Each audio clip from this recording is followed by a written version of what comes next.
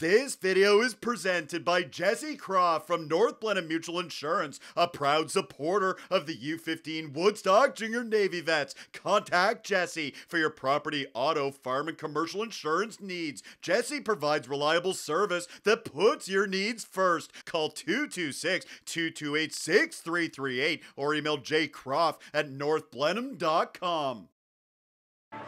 Let's head to Woodstock for U15 hockey. The Woodstock Junior Navy Vets and the Stratford Warriors taking the ice at the Reeves Center. The Vets looking to pick up the win in front of the home crowd on Sunday afternoon. Jumping into the action, and it was all Vets early in this one. Here they are on the forecheck. Josh Cook centers for Braden Palmer. Carter Keating is good for a pair of solid stops, and we would stay scoreless.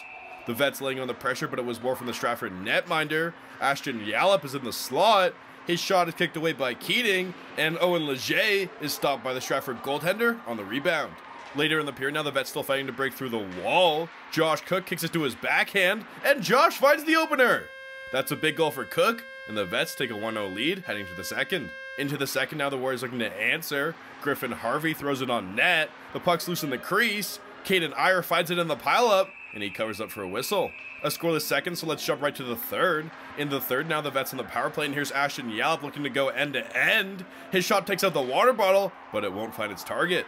Later on that same power play, and it's Josh Cook stepping into a point shot. Carter Keating marks it, and the Warriors would kill off the penalty. Still 1-0 Vets, and they keep pressing for some insurance. Nolan Tower spots out Jay Alexander out front. Big blocker save Carter Keating. Carter Keating standing on his head and keeping the Warriors in it. And here on the power play, he gets some help from the uprights. Lucas Pickard rings it off the iron, and we stay a one goal hockey game. Later in the period, now Stratford on the attack looking to tie it. Caden Olson is out front for the rebound. Caden Iyer slides across and shuts it down. Final minute of the third. Now the Warriors on a 6 on 4. And how about Owen Leger? It's a big block from Leger. He's hurting, but he gets back up and blocks another shot.